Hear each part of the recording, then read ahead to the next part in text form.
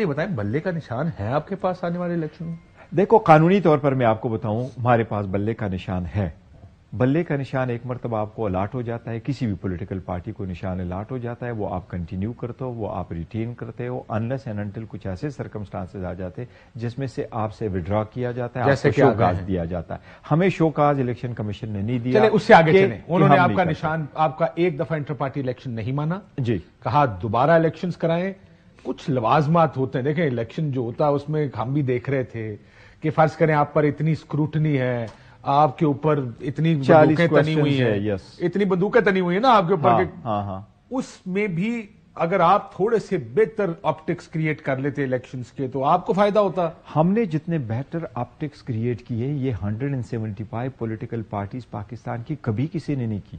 इन लोगों ने तो कभी मस्जिद में कहा कि मैं चेयरमैन नामीर बन गया हूँ तो उनको एक्सेप्ट करो। कभी अपने एक हाल में कहा कि हम कर ले।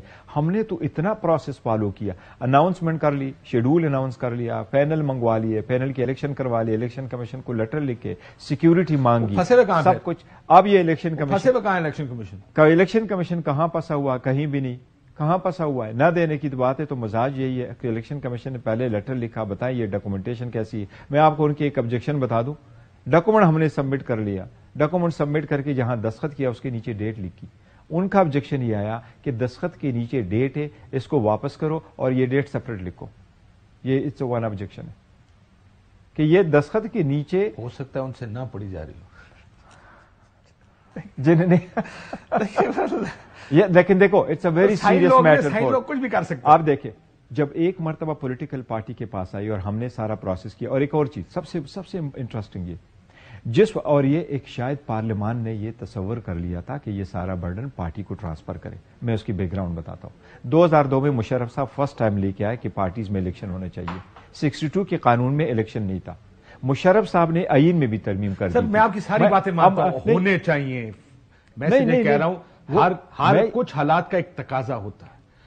इस हालात का तकाजा यह कि आपके पास वो कहते ना ना गलती की गुंजाइश निश्ता नहीं हमारे पास आपके पास की गलती की गुंजाइश नहीं है और हमने आप आप गलती नहीं कर सकते। हमने कोई गलती नहीं की। मैं कह रहा हूँ कि 2000 मुशर्रफ ने आइन में भी डाला फिर अठारहवीं तरमीम में वो खत्म हुआ। सुप्रीम कोर्ट ने कहा यह अनडेमोक्रेटिक नहीं है।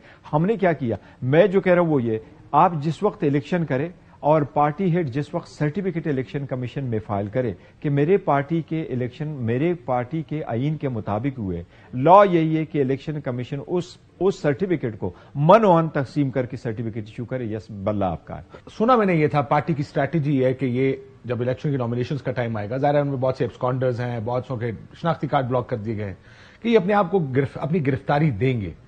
उस वक्त जब इलेक्शन के नॉमिनेशन का टाइम है कि वरना तो इलेक्शन ही नहीं लड़ सकते। हाँ। ये कौन सी डेट है? कब गिरफ्तारी देने का फैसला किया? देखिए गिरफ्तारी है शेख वकास अक्रम साहब हैं बहुत बहुत से दोस्त हैं जो K P Atif Khan Tarakai Shahram.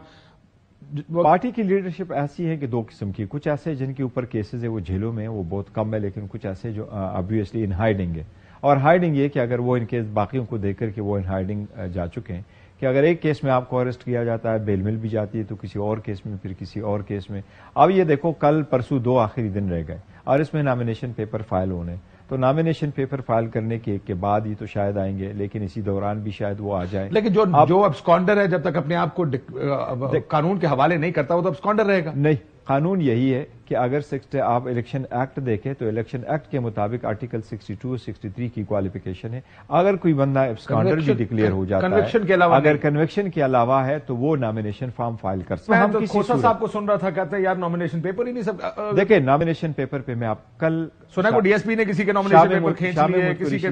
Paper कोई और ले गया शाह महमूद कुरैशी साहब सीज़न पॉलिटिशियन है पार्लियामेंटेरियन है फॉरेन मिनिस्टर है टू मरतबा हमारे वाइस चेयरमैन है कल उनका सेक्रेटरी जाता है वहाँ से नॉमिनेशन फॉर्म ले लिए और उनके पास उसकी सारी डॉक्यूमेंटेशन डॉक्यूमेंटेशन पे बहुत बड़ा टाइम लग जाता है।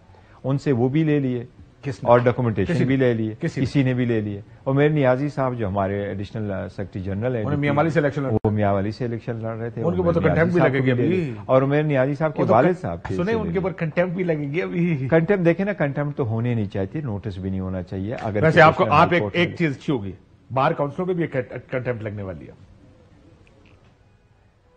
देखो कंटेम्प्ट का जो है ना अगर कर हाँ कंटेम्प्ट का जो ये कंटेम्प्ट का थोड़ा सा इजी उनको लेना चाहिए।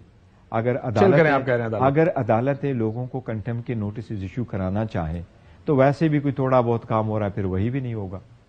हाँ लेकिन अगर अगर कोई लीगल फोरम पर गया है मैं मेरा तो ये ख्याल था मैं तो परेशान हूँ इस बात पे कि I mean I don't like पहली बात आपको तो लगता है ब्यूरोक्रेसी ब्यूरोक्रेसी फेयर इलेक्शन नहीं करा नहीं सकती? नहीं ब्यूरोक्रेसी कभी नहीं करा सकती फेयर इलेक्शन तो अगर ये लग रहा है कि वो ब्यूरोक्रेसी आपकी पार्टी की तरफ़ से फिगर्स आए कि किसी ने 300 एमपीओस पे साइन दिए। किए हुए हैं किसी ने 200 एमपीओस पे sign MPO maintenance of public order जिसमें या तो जलसा नहीं करने दे रहे या बंदों को उठा रहे हैं गिरफ़्तार कर रहे हैं।